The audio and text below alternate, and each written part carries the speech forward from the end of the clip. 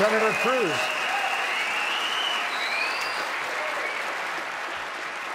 Judgment, strength, clarity, and trust.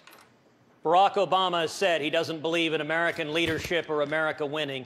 He is wrong. America can win again, and we will win again.